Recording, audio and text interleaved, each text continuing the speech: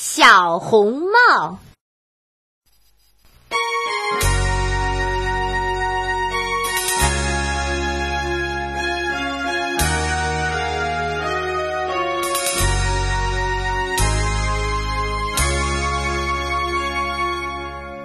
从前有一个乡下小姑娘，长得可漂亮了。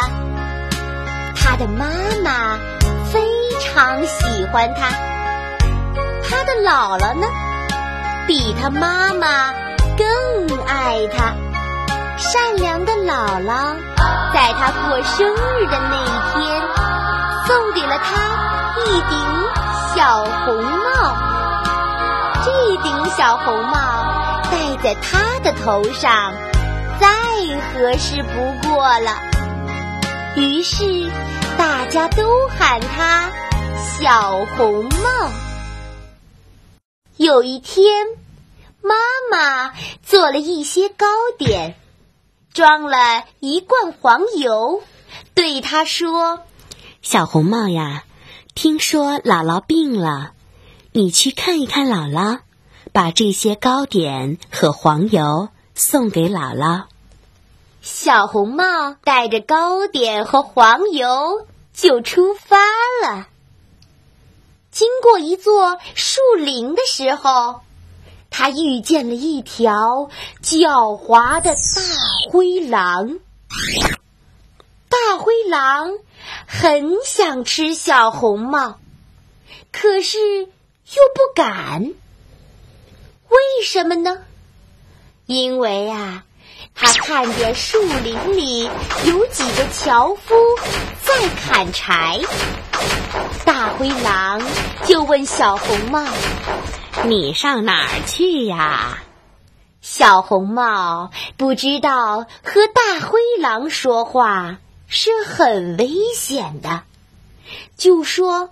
我去看望我姥姥，带了一些糕点和一小罐黄油给她，是妈妈要我送给她的。你姥姥家住得很远吗？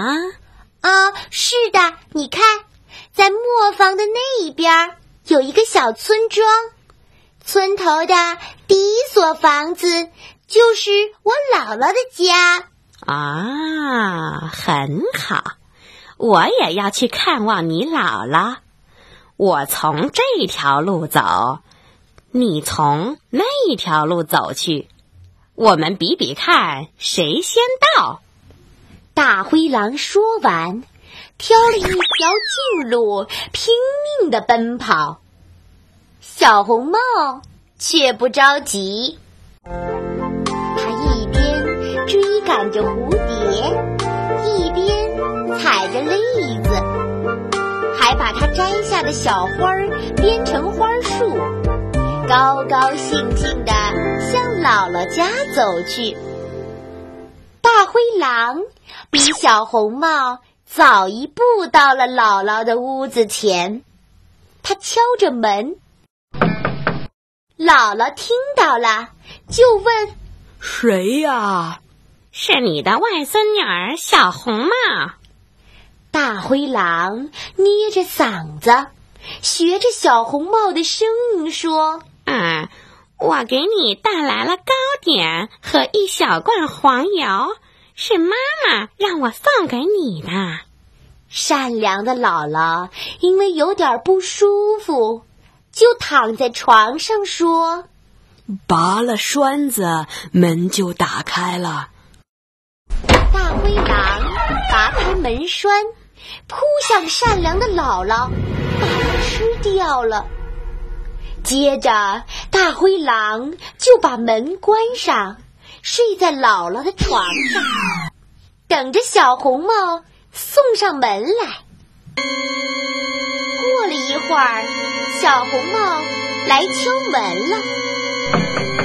大灰狼学着姥姥的声音问：“谁呀？”小红帽听到了姥姥的声音，忽然变得这么粗，还以为姥姥感冒伤风的缘故，就回答说：“是你的外孙女儿小红帽，带了糕点和一小罐黄油。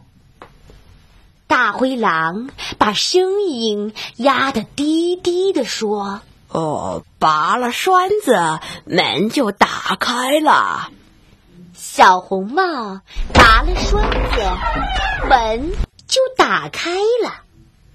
大灰狼躲在被子底下说：“把糕点和黄油放在箱子上，来和我一同睡觉吧。”小红帽就脱了衣服，爬上床去。他觉得很奇怪，姥姥脱了衣服，好像不是这个样子呀，就对他说。姥姥，姥姥，你的胳膊怎么这么粗呀？大灰狼装着姥姥的声音说：“我的外孙女儿，这样抱起你来更方便呐。”姥姥，姥姥，你的腿怎么也这么粗呀？我的孩子，这样走起路来更方便呐。姥姥，姥姥。你的眼睛怎么这么大呀？这样看你更清楚，我的孩子。姥姥，姥姥，你的耳朵怎么也这么大呀？我的孩子，这样听你的话更清楚啊。姥姥，姥姥，那你的牙齿怎么也这么大呢？啊，这样吃你更方便呢。凶狠的大灰狼说完这句话，就向小红帽扑过去，想把它吃掉。小红帽吓得大声喊叫：“救命呀！救命呀！”几个樵夫听到了小红帽的哭声，就举着斧头跑进屋，